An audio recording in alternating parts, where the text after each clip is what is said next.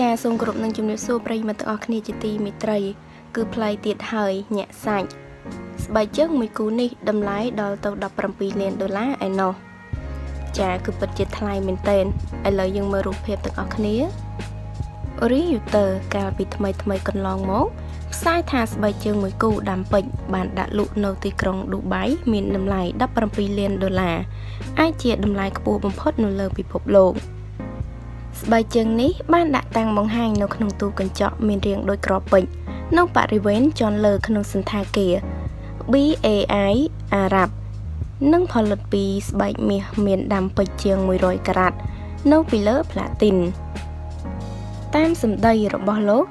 Himan Kara Machandani ប្រធានហាងពេជ្រ Passion Jeweler ផលិតស្បែកជើងពេជ្របានបញ្ជាក់ថា យើងឃើញមនុស្សមានលទ្ធភាពទិញមួយចំនួននៅទីនេះព្រោះឌូបៃជាទីក្រុងនៃសេដ្ឋកិច្ចនិងមានមហាសេដ្ឋីច្រើនអ្នកទៅថ្ងៃអនាគតយើងនឹងចេញម៉ូដនិងផលិតស្បែកជើង តាមការបញ្ជាទិញរបស់អតិថិជន មិនត្រឹមតែពេជ្រប៉ុណ្ណោះទេ អាចត្បូងតាមចំណងចិនគោលគំនិត ផលិតស្បែកជើងដាំពេជ្រនេះកើតចេញពីការច្នៃប្រឌិតរបស់នាង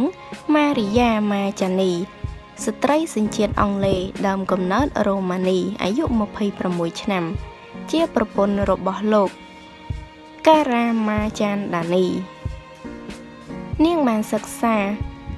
ផ្នែកការចេញម៉ូដទាំងនៅឌូបៃនិងទីក្រុងឡុងបានសង្កេតឃើញពីគម្លាតនៅក្នុងទីផ្សារដែលមានតែសម្លៀកបំពាក់និងកាបូបដែលមានតម្លៃខ្ពស់ប៉ុន្តែគ្មានស្បែកជើងតម្លៃថ្លៃទៅនាងច្នៃឲ្យមានបែបនេះ ចាគឺពិតជាថ្លៃមហាសាលតែម្ដងបងប្អូន គឺស្បែកជើងមួយគូ មានតម្លៃរហូតដល់17លានដុល្លារឯណោះចាញាក់សាច់តែម្ដងស្បែកជើងនេះ ចាប៉ុន្តែក្នុងស្បែកជើងមួយគូនេះ គឺរចនាឡើង គឺដោយមាសសុទ្ធហើយនឹងពេជ្រសុទ្ធតែម្ដង ចាយើងមើលឃើញហើយបងប្អូនពិតជាស្រស់ស្អាតខ្លាំងមែនទែនចាហើយស្បែកជើងនេះដែរអ្នកដែលមានលទ្ធភាពអាចទិញយកទុកប្រើបាននោះ ចាគឺសុទ្ធសឹងតែជាកម្ពូលមហាសិទ្ធិតែប៉ុណ្ណោះដែលអាចមានលទ្ធភាពទិញបាន ចាគឺពិតជាថ្លៃក៏ពពកតែម្ដង ចាហើយជាពិសេសនោះទីក្រុងឌូបៃគឺពោពេញទៅដោយមហាសិទ្ធិជាច្រើនដូច្នេះហើយការផលិតស្បែកជើងដែលធ្វើអំពីមាសសុទ្ធហើយនឹងពេជ្របែបនេះ គឺនឹងមានតម្រូវការច្រើនចំពោះមហាសិទ្ធិទាំងអស់នោះចា គឺថាសម្រាប់ជនធម្មតា គឺមិនអាចទិញបាននោះទេ គឺពិតជាមានតម្លៃថ្លៃខ្លាំងណាស់